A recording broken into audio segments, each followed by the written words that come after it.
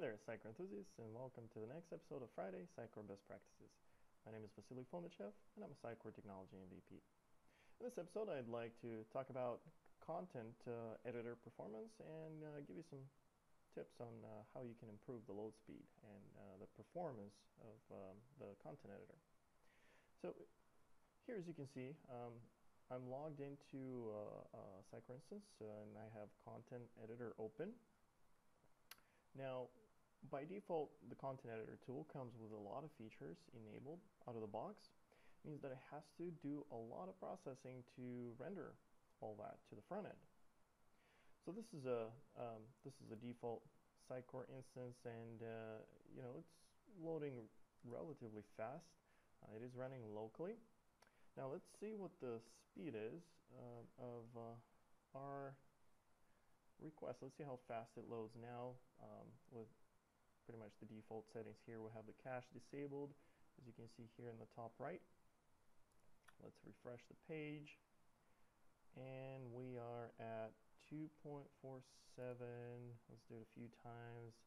Let's see, 2.42, 2.31. 2.34. Let's say 2.35, 2.4, right? Let's 2.4 is probably um, about the average load time here. So a little above two seconds, not too bad, but let's see if we can improve it. Now, Content Editor comes with a few options.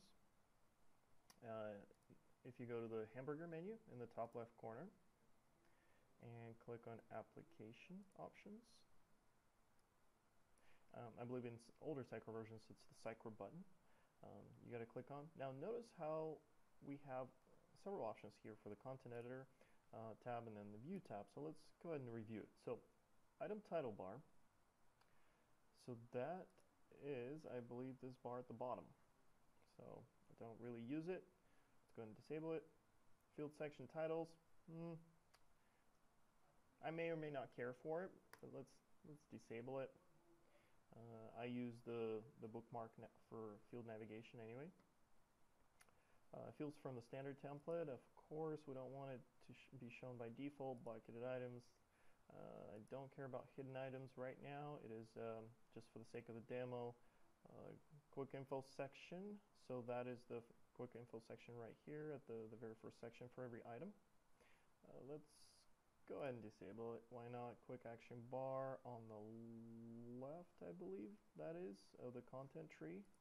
Disable that. Search panel speaks for itself. Validation bar, it's the one over on the right.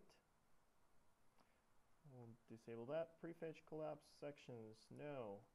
Uh, content profiling, so this is the content profiling icon here. Disable that. Pages bar, oh that's the pages bar at the bottom here. Let's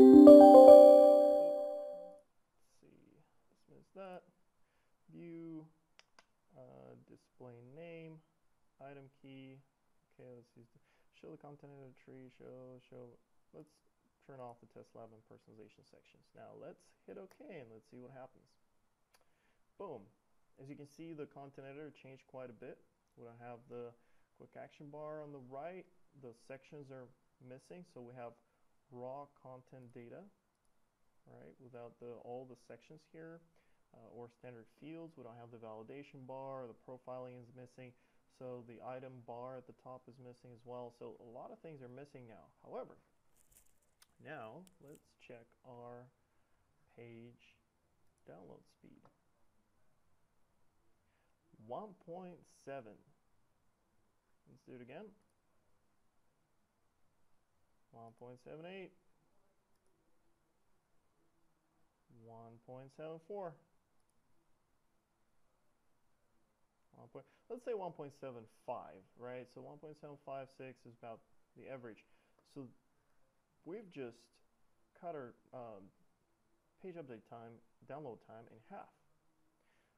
So, and this is for default Sitecore instance, uh, uh, just an empty content tree, right? So imagine um, how much it can perform, uh, improve the content editor performance uh, if we had a large content tree, especially if we're approaching 100 items in each location, right? So we're, especially the prefetch um, uh, sections, uh, prefetch the closed trees. So things like that. Uh, the validation, validation quick action bar takes a lot of processing.